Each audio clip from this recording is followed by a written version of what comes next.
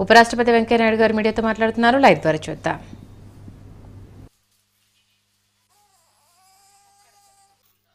Fee ఉంటుంది జార్జియాలో We are seen as role models. The students, talking of the student parliament and all. And they have shown the picture of also students rushing to the well and showing because they are following some of our actions.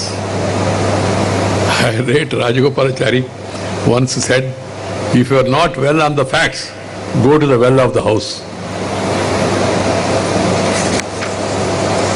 The strength lies in your argument, the way in which you represent your case.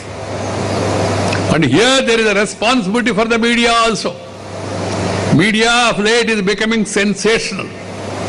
Sensational means you lose sense of proportion.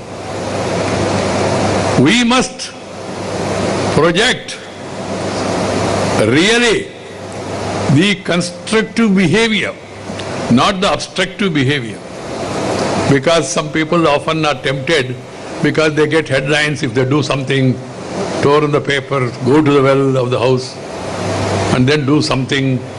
They're getting prominence, and people who come prepared and make a constructive discussion in the house, their names do not appear sometimes.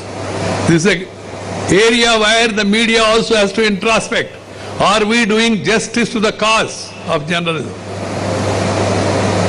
We must highlight the constructive behavior. We must give prominence to the constructive speech of anybody opposition or ruling party.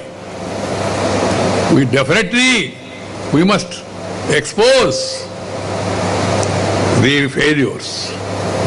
The opposition is there to oppose, but not for the sake of opposition. Oppose it on issues. Simply because I'm opposition, I have to oppose. There is no such need. That has to be understood. The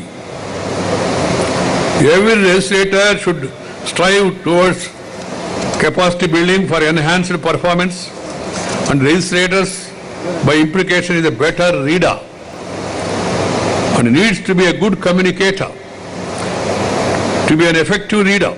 So he or she should be able to analyze various issues and situations and communicate accordingly with the people and all others concerned. Good